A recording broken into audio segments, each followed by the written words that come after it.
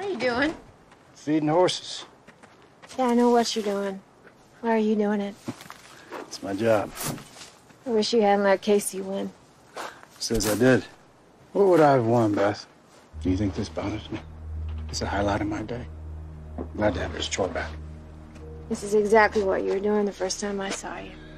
Right here, too. And the more things change. There are other wrenches, Rip. Not for me, there ain't. Look what loyalty's given you, huh? Yeah. It's awful, ain't it?